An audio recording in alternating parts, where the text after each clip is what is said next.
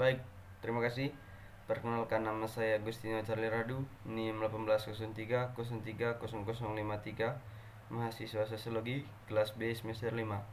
Kali ini saya akan mempresentasikan hasil makalah saya tentang tambang yang ada di Manggarai Timur. Bab 1 pendahuluan latar belakang. Pertambangan merupakan sektor penyumbang devisa negara paling besar. Namun, keberadaan aktivitas pertambangan menjadi persoalan di sejumlah kalangan. Dalam dampak pertambangan, negara sering dihadapkan pada kondisi sistematis antara sektor pendapatan dengan kerugian lingkungan dan sosial keberadaan kegiatan usaha tambang bahan galian sering menimbulkan dampak negatif.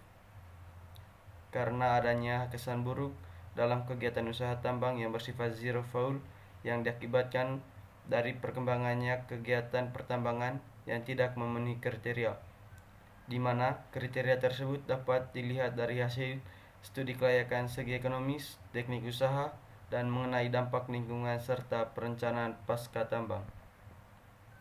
Berdasarkan Undang-Undang Nomor 4 Tahun 2009, suatu pertambangan bisa beroperasi dengan syarat harus memiliki izin usaha pertambangan atau IUP. Izin tersebut dikeluarkan oleh pemerintah sehingga pemerintah bisa melakukan pengawasan terhadap jalannya kegiatan pertambangan yang dilakukan oleh pelaku kegiatan pertambangan. Di dalam pasal 38 disebutkan bahwa Pelaku usaha pertambangan meliputi badan usaha swasta, koperasi, dan perseorangan. Pelaku pertambangan bisa dikelompokkan dengan pertambangan skala besar, pertambangan skala menengah, dan juga pertambangan skala kecil dalam bentuk pertambangan rakyat.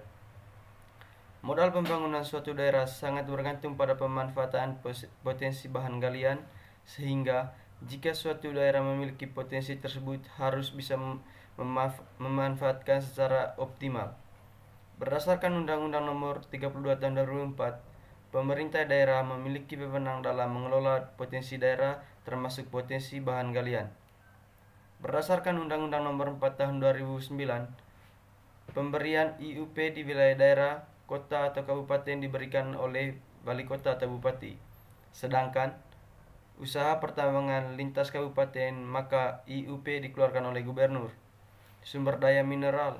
Dalam mengeluarkan izin, pemerintah harus memperhatikan beberapa aspek di mana sesuai dengan Undang-Undang Undang-Undang Nomor 4 Tahun 2009.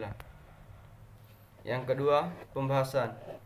Di tengah krisis globalisasi akibat pandemi, pandemi COVID-19, masyarakat di Kampung Lubuk dan Lengkololok, Desa Saterpunda Lampaledak, Kabupaten Manggarai Timur, Provinsi Nusa Tenggara Timur, disibukkan dengan kehadiran perusahaan-perusahaan yang hendak menambang batu gamping dan mendirikan pabrik semen di wilayah itu dengan difasilitasi oleh Bupati Manggarai Timur. Pihak perusahaan sudah melakukan negosiasi dengan warga untuk proses pembebasan lahan seluas 599 hektar dan relokasi kampung Mangan ke Batu Gamping.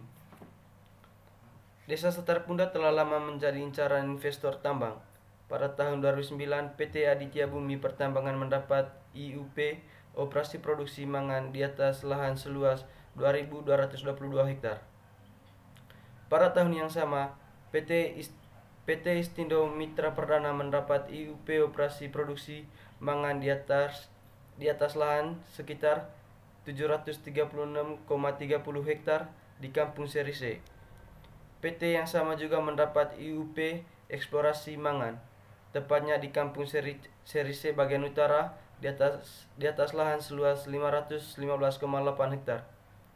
Kendati ditolak sebagai warga sejak awal, perusahaan-perusahaan itu sempat mulai beroperasi. Restinse yang luas yang melibatkan jaringan masyarakat sipil serta gereja Katolik setempat. Kuskupan Rute yang ber, berujung pada moratorium tambang melalui peraturan gubernur nomor 3, 359 garing Kep garing HK garing 2018 tentang penghentian sementara pemberian izin usaha pertambangan mineral dan batu bara di Provinsi NTT. Kini, kendati pergub moratorium tambang itu belum dicabut, Desa Satar Punda kembali diincar investor tambang Kali ini yang diincar adalah batu gamping sebagai bahan baku untuk pabrik semen. Perusahaan yang hadir di Satar Muda adalah PT Semen Singamera NTT dan PT Istindo Mitra Manggarai. Gelombang penolakan Di Lubuk dan Lengkololok sendiri kehadiran pabrik semen dan perusahaan tambang ini menghasilkan pro dan kontra.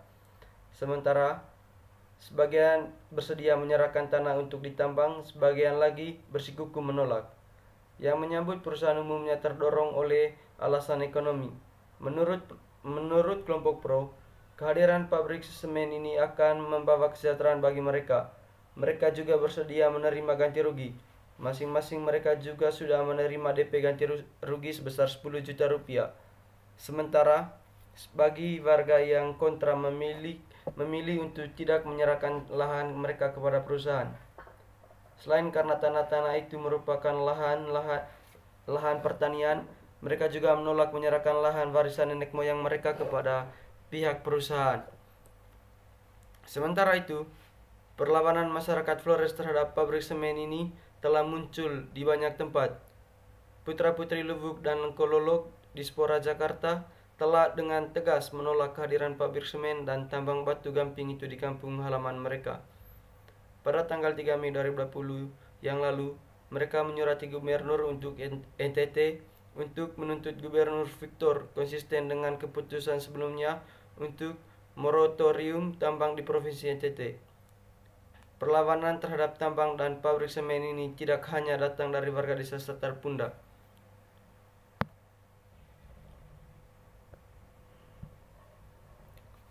Alasan penolakan Kenapa warga menolak tambang batu gamping dan pabrik semen? Maximus yang warga kampung Lubuk mengatakan dari penelusuran PT IMM pemiliknya sama dengan PT Istindo Mitra Perdana atau IMP yang menambang batu mangan di tanah ulayat warga kampung Seriset, tetangga Lolok, Lubuk, luas tambang PT IMP sebesar 736,30 hektar dan mulai operasi produksi mangan tanggal 12 Oktober 2009 dan berakhir pada tahun 2017.